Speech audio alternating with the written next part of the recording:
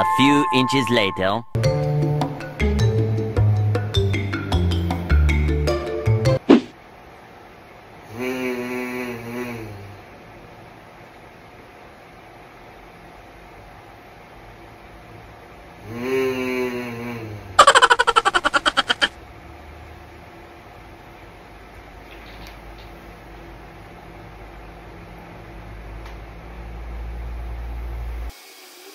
Ano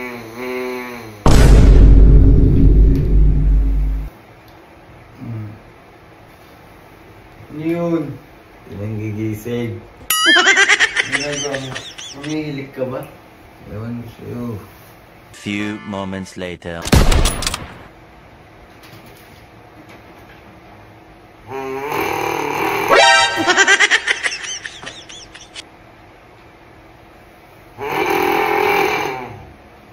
Ano naman yan?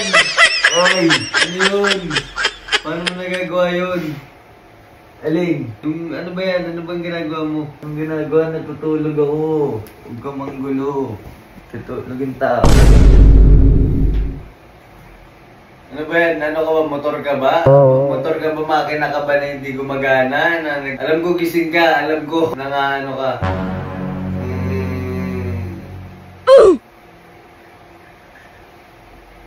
Mm.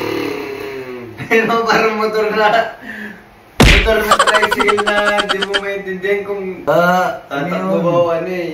Ano ba yan? Nakakairita. Ano yun? Ano ba yun? Ano bang pinapatunog-tunog mo dyan?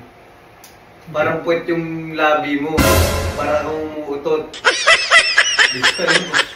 Hindi ko maintindihan kung utot ba yan o ano eh. Makina eh. Tutulog yung tao. Tutulog ka. Hindi ka natutulog.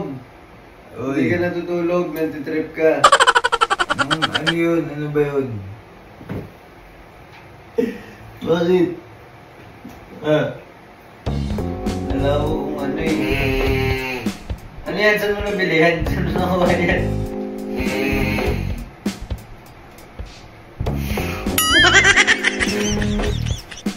Ah, try mo. Ayoko! Maboy. So pag umihilig talaga ako ng ganun, sasampalin mo ako? Oo, ayun hingay mo eh. Look! Big. Guys, siya nga yung mas maingay humilik sa akin talaga. Oy, ikaw yung humilig. Humilig. Ikaw yung humihilig. Hindi, grabe yan mag-snore guys pagkagabi. Tapos Hindi ano, pagod. Malakas ka mag-snore min. Tapos ako, ako yung ganang ganyan sa ano gabi. Ito totoo to guys ah. Tapos biglang, wala na. Mahirapan ako matulog. guys. Eh, Siya nga guys, ah, Ano yun, wala, wala.